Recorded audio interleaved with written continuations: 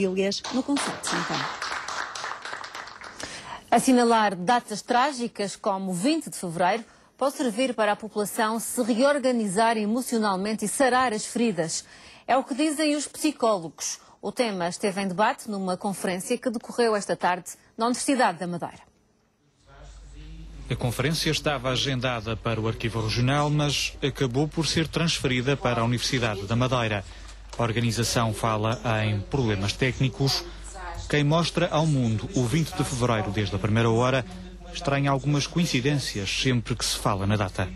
Por exemplo, a minha exposição acontece alguns endravos.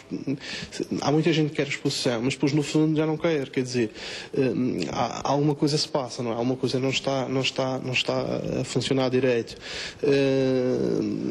Não sei, eu penso que as entidades se calhar não querem que, que, que a exposição seja vista, que não, que não, esteja, que não esteja na rua.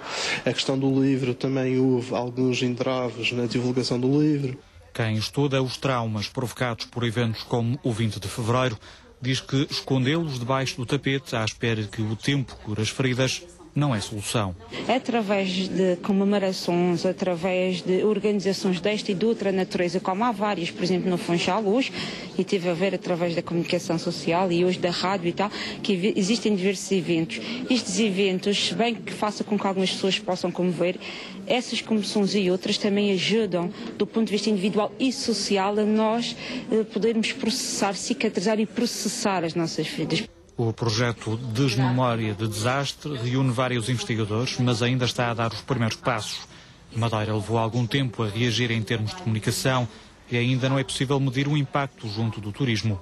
Ao nível do planeamento turístico, existem formas de, de, de contornarem as situações e normalmente os desastres têm que estar um, previstos no, dentro deste planeamento, só que é uma coisa que é quase impossível de prever, quando é que vai haver uma chuva, quando é que vai haver uma cheia, etc. A questão é que, de facto, conseguiram fazer alguma coisa positivamente.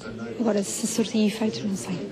O 20 de fevereiro foi assinalado em ambiente académico num debate sobre a importância de lembrar ou esquecer a tragédia.